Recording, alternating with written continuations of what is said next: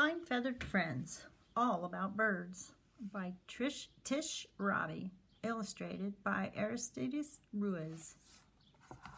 Fine Feathered Friends.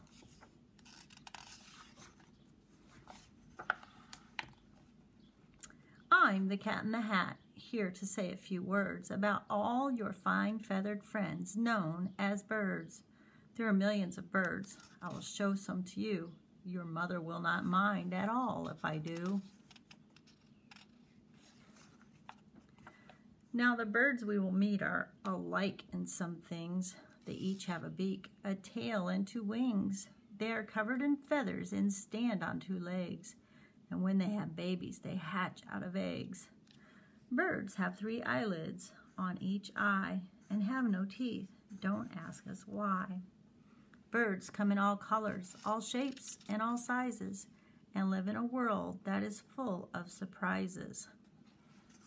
An egg and a baby bird, a wing, feathers, legs, tail, and a beak.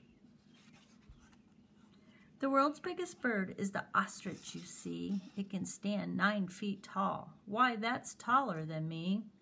There's a tale told about them I don't understand. Some say that these birds hide their heads in the sand. But they couldn't and wouldn't. It's simply not true. It's a, it's a thing that no ostrich I know of would do.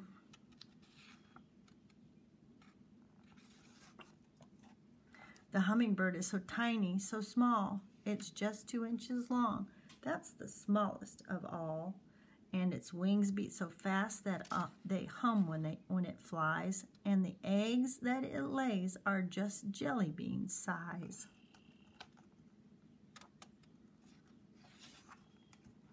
A bird gets its name from the simplest things, what it does, how it looks, or the song that it sings.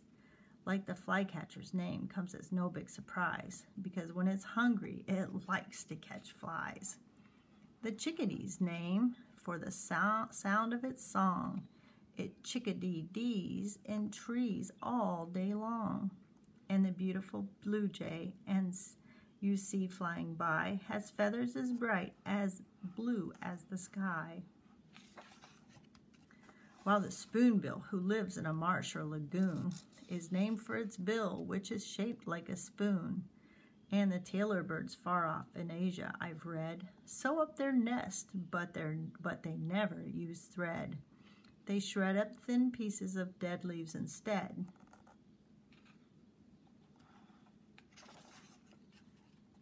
And meet the bald eagle, I'm happy to say. He's the national bird for the whole USA. Though his name says he's hairless, he's really not bald. He's the symbol of freedom, whatever he's called. When you're looking for birds, you can listen to hear the sounds that they make that are new to your ear. Like the owls who go hoo and the herons who squawk or the dove's gentle coo. That's the way that they talk. Or a parakeet's trill or a guinea hen's cluck the boom of an ostrich, the quack of a duck, the cry of the loon, or the caw of the crow, or the catbird who meows like some cats that I know. Lots of sounds here. Coo, trill, squawk, caw, hoo, cluck, quack, boom, aye.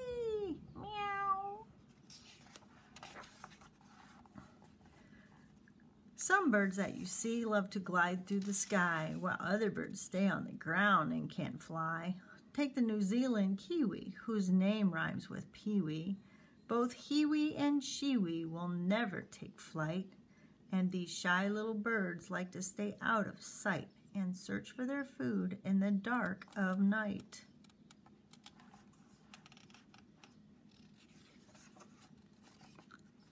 Now, birds have some habits we may think are strange, but these habits are things that they can they can't ever change. Like the emperor penguin, who penguins who live in the snow, where there's nothing to build a warm nest with, and so When a mom lays an egg, it goes up on dad's feet, and until it is hatched, he can't move and can't eat.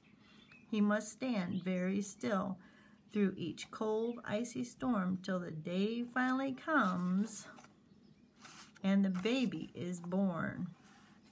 Then it's mama's turn to help to take over and keep an eye on the baby while dad goes and gets some sleep. When a male whooping crane feels it's time for romance, he hops up and down in a strange kind of dance. His wings go flap flip and his feet go flip flop. He twirls and he swirls with a hip and a hop. And although you might think this dance isn't exciting, a female crane finds it extremely inviting.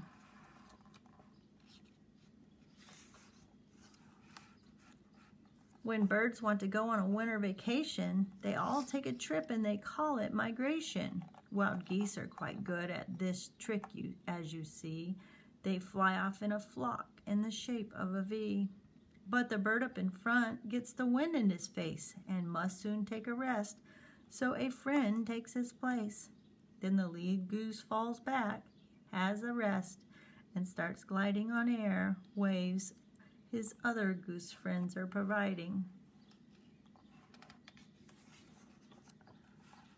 Oh, look at the time. Why, the minutes just flew. We must get you home. I know just what to do.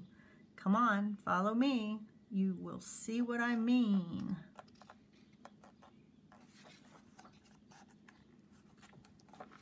It's my fine feather, all-weather flying machine.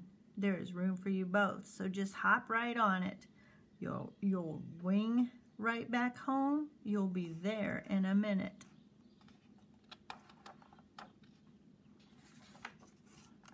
Dear Dick and Sweet Sally, oh, how was your day? Did you have any fun? Did you learn? Did you play? Please tell me about it, but first, a surprise. I've been to the pet store. Now quick, close your eyes. I bought you a bird.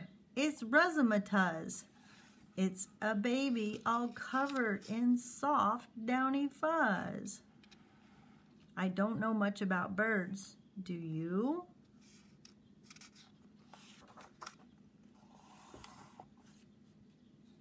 Who does?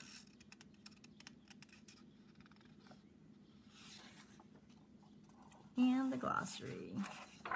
I hope you enjoyed this story. Have a great day and keep reading.